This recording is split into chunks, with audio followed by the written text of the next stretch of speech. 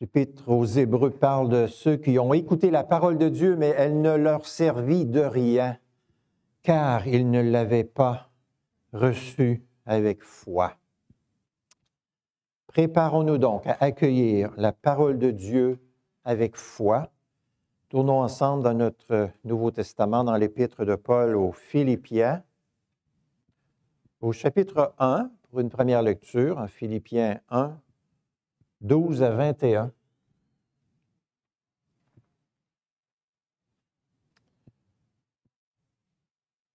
Nous prierons après, nous euh, écouterons la lecture après avoir prié, mais prions d'abord un moment ensemble. Seigneur, c'est toi qui as poussé et inspiré tes serviteurs, les prophètes et les apôtres, à écrire ta volonté pour nous, combien nous en sommes reconnaissants ta parole, elle est précieuse, elle est puissante. C'est une épée. C'est un feu. C'est une nourriture. Merci de nous la donner. Nous prions, Seigneur, que tu nous éclaires puissamment ce matin, chacun d'entre nous. Nous avons tellement besoin d'entendre ta voix. Nous avons besoin que tu nous affermisses dans la foi. À l'écoute de ta parole, convainc-nous, Seigneur, de mieux t'aimer. Persuade-nous de mieux te servir et fais du bien. À chacun de nous, nous t'en supplions ensemble par Jésus-Christ, notre Sauveur. Amen. Écoutons ensemble donc un premier texte en Philippiens 1, les versets 12 à 21. Je veux que vous le sachiez, frères, ce qui m'est arrivé a plutôt contribué au progrès de l'Évangile. En effet, dans tout le prétoire et partout ailleurs, il est devenu manifeste que c'est pour Christ que je suis dans les chaînes. La plupart des frères, confiants dans le Seigneur en raison de mes chaînes, ont beaucoup plus de hardiesse pour annoncer sans crainte la parole de Dieu. Certains, il est vrai, prêchent le Christ par envie et rivalité, mais d'autres le font dans des dispositions bienveillantes. Ceux-ci agissent par amour, sachant que je suis établi pour la défense de l'Évangile, tandis que ceux-là annoncent le Christ dans un esprit de rivalité.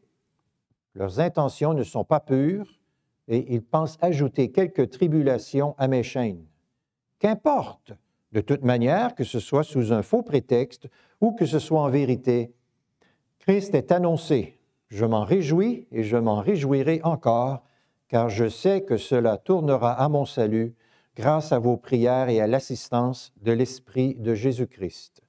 Selon mon ardent désir et mon espérance, je n'aurai honte de rien. Mais maintenant, comme toujours, Christ sera exalté dans mon corps avec une pleine assurance, soit par ma vie, soit par ma mort. Car pour moi, Christ est ma vie et la mort m'est un gain. Tournons un peu plus loin dans notre épître aux Philippiens, au chapitre 4 cette fois-ci, pour écouter la lecture des versets 10 à 14. Philippiens 4, 10 à 14. J'ai éprouvé une grande joie dans le Seigneur à voir refleurir votre intérêt pour moi. Cet intérêt, vous l'aviez bien, mais l'occasion vous manquait. Je ne dis pas cela en raison de mes besoins, car j'ai appris à me contenter de l'état où je me trouve. Je sais vivre dans l'humiliation et je sais vivre dans l'abondance. En tout et partout, j'ai appris à être rassasié et à avoir faim, à être dans l'abondance et à être dans la disette. Je puis tout par celui qui me fortifie. Cependant, vous avez bien fait de prendre part à ma tribulation. Amen. Un roi très riche était malheureux. Il était riche, mais il était malheureux, et ceux qui l'entouraient cherchaient des moyens de le rendre heureux, mais n'en trouvaient pas.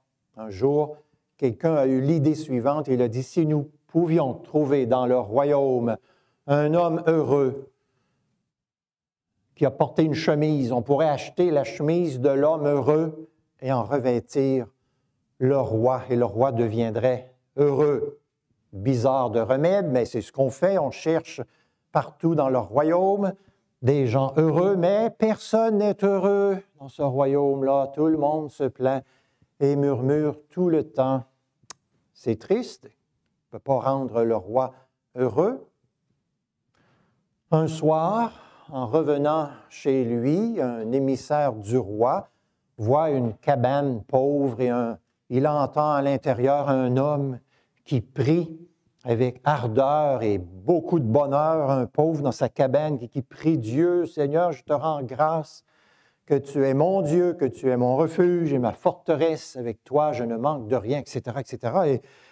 Et, et l'émissaire du roi est tout impressionné, dit, tiens, nous avons ici un homme qui semble heureux. Alors il se rend au surintendant des trésors du roi. Il dit, vite, à vitesse grand V, prends de l'argent, prends de l'or et rends-toi à telle adresse, il y a là un homme heureux et achète sa chemise pour la donner au roi. Et le surintendant des trésors se rend à cette adresse et malheureusement, il ne peut pas acheter la chemise du pauvre parce que le pauvre n'a pas de chemise. Il est trop pauvre, mais il est un homme heureux. Pas de chemise, mais de la joie dans le cœur, la joie du Seigneur. Pas beaucoup de richesse matérielle, mais il est content dans le Seigneur, mieux vaut une pauvreté joyeuse qu'une richesse chagrine. Le titre de la prédication de ce matin est au verset 11 de Philippiens 4, J'ai appris à me contenter de l'état où je me trouve. Lorsque l'apôtre Paul écrit ces mots, il est emprisonné à cause de sa foi. Ces circonstances extérieures ne sont pas agréables. Au contraire, vous pouvez bien imaginer que l'état des prisons au premier siècle était bien différent de l'état des prisons de nos jours. Donc, l'apôtre Paul est dans des circonstances extérieures difficiles. Il écrit au verset 11, suivez avec moi dans votre Bible, j'ai appris à me contenter de l'état où je me trouve. Au verset 12, je sais vivre dans l'humiliation et je sais vivre dans l'abondance. En tout et partout, j'ai appris à être rassasié et à avoir faim, à être dans l'abondance et à être dans la disette. J'ai appris, répète-t-il deux fois, j'ai appris. Je trouve remarquable que quand nous lisons les épîtres de Paul, il y en a 13 lettres qu'il a écrites dans le Nouveau Testament, on le voit très rarement se plaindre de son sort personnel, s'affliger de sa situation qui est souvent très difficile, mais au contraire, il y a beaucoup de joie dans sa vie. Une grande étude a révélé récemment que les Canadiens sont parmi les plus grands pleurnichards du monde. Ils arrivent au quatrième rang de ceux qui se plaignent le plus. On pourrait imaginer une personne de notre culture d'aujourd'hui, culture souvent de revendication, de plainte, de mécontentement. On pourrait imaginer une personne semblable qui se retrouve dans une prison à l'époque de l'apôtre Paul. Sans doute qu'elle aurait trouvé beaucoup, beaucoup, beaucoup de raisons de se plaindre, n'est-ce pas? La cellule est trop petite, la cellule n'est pas assez éclairée, elle n'a pas assez des belles couleurs, les gens autour sont trop bruyants. Euh, je n'ai pas assez de bonnes choses à manger, je ne peux pas dormir bien ici, etc., etc. Je demande des excuses, j'exige qu'on me sorte de cette cellule-là, etc., etc., etc. Quel contraste avec l'apôtre Paul qui nous dit, j'ai appris à me contenter de l'état où je me trouve, dans cette captivité dans laquelle il était. Je sais vivre dans l'humiliation, je sais vivre dans l'abondance. En tout et partout, j'ai appris à être rassasié et à avoir faim, à être dans l'abondance et à être dans la disette. Quel était donc le secret de Paul, si secret il y a? Le secret du contentement de Paul n'est pas très difficile à trouver. Il est en Philippiens 1, 21. Pour moi, Christ est ma vie et la mort m'est un gain. Pour moi, Christ est ma vie. Le secret du contentement de Paul se trouve en Jésus-Christ. L'insatisfaction et le mécontentement prouvent que le Seigneur n'est pas le trésor principal de nos cœurs et l'objet le plus précieux de nos affections. L'insatisfaction et le mécontentement prouvent que le Seigneur Jésus n'est pas le trésor de nos cœurs et l'objet premier de nos affections. Le livre de l'Ecclésiaste dit, Le mécontentement repose dans le sein des insensés. Il me semble que chaque génération augmente la barre du contentement. On peut avoir beaucoup, beaucoup, beaucoup de luxe, de confort et de facilité, mais on n'est jamais satisfait. La génération de mes parents ne pouvait pas imaginer que dans une famille, il y ait plus d'une auto. Mais maintenant, de nos jours, on s'attend à ce que dans chaque famille, presque chaque personne ait accès à une auto.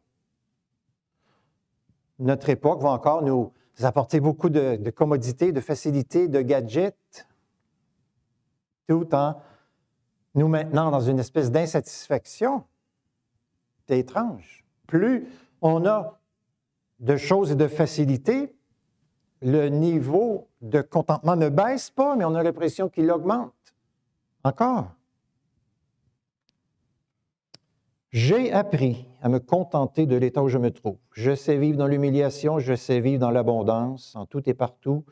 J'ai appris à être rassasié et à avoir faim, dit Paul, à être dans l'abondance, à être dans la disette. J'appuie tout par celui qui me fortifie. Christ est ma vie. L'apôtre Paul avait appris à être content dans la disette. Ça veut dire la famine, quand il manque de tout. Et nous, nous n'avons même pas appris à être content dans l'abondance. C'est tout un contraste quand on regarde ce que Paul nous dit. L'épître de Paul aux Philippiens est souvent appelée l'épître de la joie, et c'est une bonne façon de, de la résumer parce que l'apôtre Paul parle de sa joie ou de la joie du peuple de Dieu à 17 reprises dans, cette toute petite épître. Pourtant, il est en prison. Euh, son corps est en prison, mais son âme est libre. Elle est dans le Seigneur, elle est dans la joie. Elle est comme dans une fête continuelle, perpétuelle, son âme. Vous vous souvenez de ce beau proverbe 15-15, le cœur content est un festin perpétuel. Ça décrit bien l'apôtre Paul. Le cœur content est un festin perpétuel. Au chapitre 1, Paul écrit, Je ne cesse de prier avec joie. Est-ce que c'est comme ça que nous prions ou est-ce que nos prières sont souvent congestionnées par des murmures et des, choses inappropriées, je ne cesse de prier avec joie. Au chapitre 2, je me réjouis avec vous tous. Vous aussi, réjouissez-vous de même avec moi. Au chapitre 3, réjouissez-vous dans le Seigneur. Au chapitre 4, réjouissez-vous toujours dans le Seigneur. Je le répète, réjouissez-vous. On s'est dit, mais Paul avait une existence glorieusement joyeuse. Il n'aurait jamais échangé l'emprisonnement avec son Sauveur pour une vie sans son Sauveur. Nous, nous avons la plainte facile. Certains semblent penser que la seule façon d'avoir une conversation avec quelqu'un dans la vie, c'est de sortir des sujets de plainte, de murmurer contre tout ceci et tout cela. Mais ce n'est pas, juste pas la seule façon d'avoir une conversation dans la vie. On connaît bien l'expression on se plaint le ventre plein. Il neige trop, neige pas assez. Il fait trop chaud, il fait trop froid. L'hiver est trop long, l'été est trop court. Le temps passe trop vite, le temps passe pas assez vite. Sommes maîtres dans l'art de trouver des raisons de nous plaindre, de ne pas être contents et notre société euh, de consommation compulsive et chronique nous pousse à vouloir toujours plus, plus, plus, plus. Un petit enfant qui apprenait à parler, c'était son mot préféré. Plus, plus, toujours. La nourriture, plus. Les jouets, plus. Plus. Et on comprend ça chez un petit enfant qui apprend à parler, mais chez nous, les adultes chrétiens, c'est horrible si c'est notre façon de, de vivre. En vouloir toujours plus, c'est la convoitise, hein, c'est comme une définition de la convoitise. Dans son explication du dixième commandement, le petit catéchisme de Westminster dit ceci. Le dixième commandement exige que nous soyons pleinement satisfaits de notre propre condition. Il nous interdit d'être mécontents de notre condition personnelle. Pleinement satisfait, pas mécontent. Pleinement satisfait, pas mécontent. C'est comme ça que l'apôtre Paul vivait, c'est comme ça qu'il enseignait aussi à vivre aux autres. C'est comme ça que nous sommes appelés, nous aussi, à vivre, à prendre, à se contenter dans la disette, dans l'abondance, dans l'humiliation, parce que ma vie, c'est le Christ. Le Christ Jésus est mon bonheur, ma joie, mon tout, ma plénitude, la vie de ma vie. Si vous regardez au chapitre 3, versets 7 et 8, Paul dit, Ce qui était pour moi un gain, je l'ai considéré comme une perte à cause du Christ, et même je considère tout comme une perte à cause de l'excellence de la connaissance du Christ Jésus, mon Seigneur. À cause de lui, j'ai accepté de tout perdre et je considère tout comme des ordures afin de gagner Christ. Quel était le plus grand trésor de l'apôtre Paul? Sans aucun doute, c'était le Christ Jésus, son Seigneur. C'était son trésor, l'objet de ses affections. Christ est ma vie. Je puis tout par celui qui me fortifie. C'était son grand trésor, le trésor de son cœur. Quel est le trésor de nos cœurs? Quel est le plus grand trésor de nos cœurs, sincèrement? Pensons-y. Est-ce que c'est nos biens matériels? Est-ce que c'est nos comptes bancaires? Est-ce que c'est notre époux, notre épouse, nos enfants, notre travail, notre position dans la société, euh, nos voitures, nos animaux? Euh, c'est quoi le plus grand, précieux, cher trésor de nos cœurs? L'apôtre Paul, il disait, Christ est ma vie. Et c'est pour ça que lorsqu'il se retrouvait dans des circonstances très, très difficiles, il pouvait vivre, être habité par une joie qu'il cherchait à communiquer aussi autour de lui. Sachons que tout ce qui est en dehors de Jésus-Christ ne peut pas vraiment combler profondément les aspirations de nos cœurs les plus profondes. C'est le Seigneur seul qui le peut. Quelqu'un a dit, la vie, de ce monde ressemble à un jeu de Monopoly. Peu importe le nombre de nos acquisitions, au bout du compte, elles retournent toutes dans la boîte. Et ça résume un peu ce que Paul dit en 1 Timothée 6. Nous n'avons rien apporté dans le monde, nous ne pouvons rien emporter quand nous quittons ce monde. Certes, c'est une grande source de gain que la piété si l'on se contente de ce qu'on a.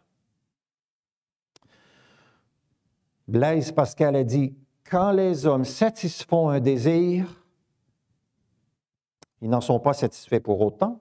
Un autre désir ne tarde pas à prendre la place du précédent, si bien que leur projet de contentement est indéfiniment reporté. Ainsi, les hommes sont perpétuellement dans l'attente du bonheur. Leur projet de contentement est continuellement reporté, dit-il. C'est intéressant comme analyse de la situation. Une fillette avait un père qui était reconnu par tout le monde pour être un bougon chronique. Et un soir, au cours du repas, la fillette dit Je sais maintenant ce que chaque membre de notre famille aime. Jean aime les hamburgers, Julie aime la crème glacée. Pierre aime la pizza. Maman aime le poulet. Elle dit rien sur papa. Et papa dit, puis moi, qu'est-ce que papa aime? Et elle dit, papa, toi, tu aimes tout ce que nous n'avons pas. Si nous, les parents, nous sommes enfermés dans un cercle vicieux, de plaintes, d'insatisfaction, de mécontentement. Nous sommes en train de mettre dans la vie de nos enfants des, obstacles, des dangers, des périls pires que les icebergs étaient pour le Titanic. Nous sommes en train de, comme ouvrir un grand trou noir qui aspire la lumière pour les, les plonger dans un grand trouble. Mais par contre, si nous avons appris nous-mêmes et si pour nous-mêmes euh, notre vie, c'est le Christ et, toutes les richesses qui sont liées à la vie de Jésus-Christ, si nous leur enseignons à trouver leur trésor et leur vie là, en Jésus-Christ, eh bien, nous leur transmettons le plus bel et précieux héritage qui soit. Christ est ma vie. Je considère tout comme une perte à cause de l'excellence de la connaissance du Christ Jésus, mon Seigneur. À cause de lui, j'ai accepté de tout perdre. Et je considère tout comme des ordures afin de gagner Christ. L'apôtre Paul vivait des situations très difficiles, on le sait, mais il ne se plaignait pas de son sort parce qu'il avait cette richesse que personne ne pouvait lui enlever, sa vie dans le Christ Jésus. Il pouvait être prisonnier, il pouvait ne pas avoir assez à manger, peu importe. Christ est ma vie, son véritable contentement était dans le Seigneur Jésus lui-même. Le monde ne peut pas comprendre ça aujourd'hui, ce privilège singulier qui est le nôtre. Le monde pense et nous, nous pousse à, acheter plus ou à nous procurer plus ou à chercher ailleurs pour être content, mais Paul savait très bien que c'est un piège. Le chrétien est persuadé que ça va toujours mieux qu'il le mérite. Il ne murmure pas parce qu'il n'a pas ce qu'il aimerait avoir, mais il est reconnaissant de ne pas avoir ce qu'il mérite, c'est-à-dire le châtiment éternel. Arthur H. était un superstar de tennis il y a plusieurs années, peut-être vous vous souvenez de lui. Chrétien, marié, père de famille. Il est mort du sida après avoir contracté cette maladie par transfusion sanguine lors d'une opération à cœur ouvert. À partir de ce moment et jusqu'à sa mort, ne s'est pas plaint, ne s'est pas apitoyé sur son sort comme il aurait pu le faire. Il a dit ceci, Si je demandais, Seigneur, pourquoi? Pourquoi moi, au sujet de mes difficultés, je devrais aussi demander, Seigneur, pourquoi moi au sujet de mes bénédictions? Pourquoi moi, Seigneur, ai-je épousé une femme aussi remarquable? Pourquoi ai-je eu un enfant merveilleux? Pourquoi ai-je remporté le tournoi de Wimbledon? C'est une autre façon de réagir aux adversités de la vie que d'avoir cette compréhension-là de l'action de Dieu, bénéfique, pas juste voir pourquoi une méchanceté me tombe dessus, mais pourquoi toutes les bénédictions du Seigneur? Vivre dans notre monde déchu et difficile comporte beaucoup de contrariétés, de contretemps, de souffrances et certains, assurément, comment réagissons-nous à travers tout ce que nous devons traverser? Avec euh, foi, avec euh, amour ou avec violence, avec colère, avec frustration, avec un ton assassin? Comment réagissons-nous? L'Épître aux Hébreux nous dit, Contentez-vous de ce que vous avez, car Dieu lui-même a dit, je ne te délaisserai pas ni ne t'abandonnerai. C'est pourquoi nous pouvons dire avec courage, le Seigneur est mon secours. Je n'aurai pas de crainte. Comprenez-moi bien, je ne veux pas sous-estimer les difficultés terribles que nous pouvons vivre ici maintenant. Je ne veux pas méconnaître les épreuves que nous sommes appelés à traverser par moments dans nos vies. Mais nous devons nous souvenir comme ce texte le dit en Hébreu 13, 5 et 6 que je viens de lire, que Dieu est notre Père, que nous sommes ses enfants, qu'il nous a fait des promesses, qu'il nous aime depuis toujours jusqu'à toujours, qu'il prend soin de nous, que nous devons espérer en lui toujours à nouveau.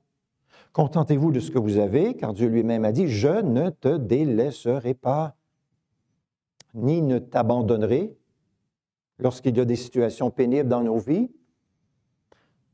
des situations où nous ne savons pas d'aider pourquoi lorsqu'il y a des choses qui, qui prennent du temps, pourquoi cette difficulté, cette relation complexe, cette situation euh, imprévue, ce problème de santé. Nous devons nous rappeler, le Seigneur est avec nous.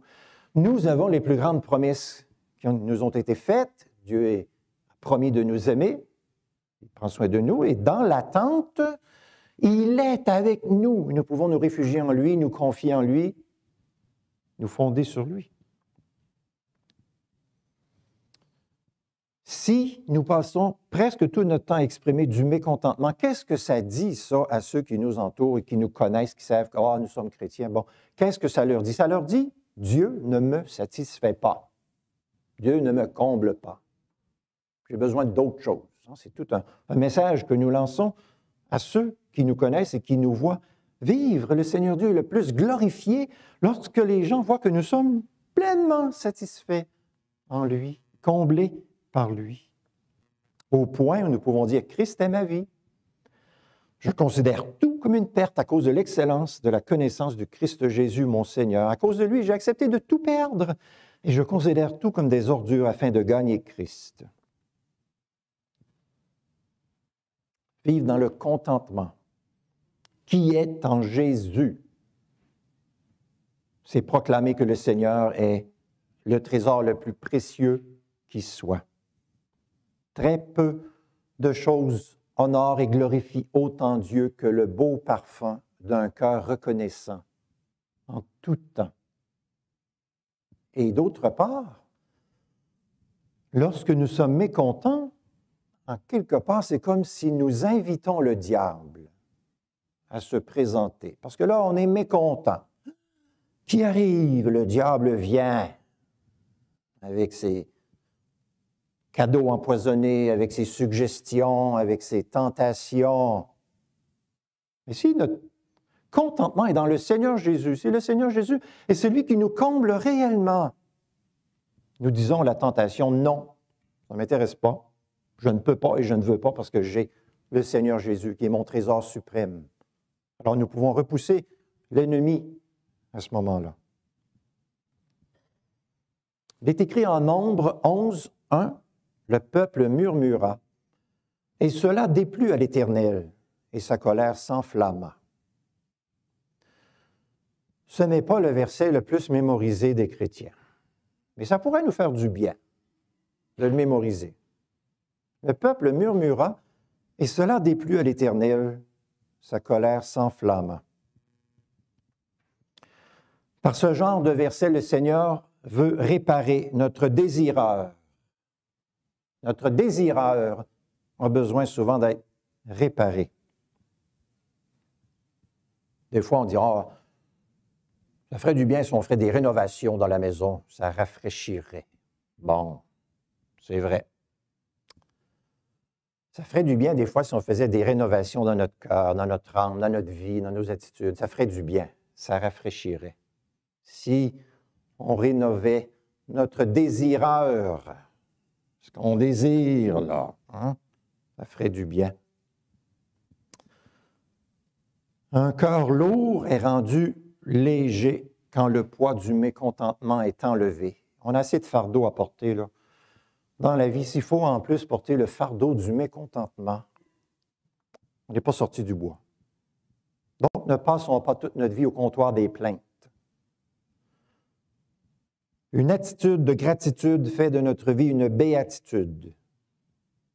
Par la puissance du Saint-Esprit, Dieu nous appelle à déloger le mécontentement de nos vies et à apprendre à nous contenter de l'état où nous nous trouvons parce que le Christ est notre vie.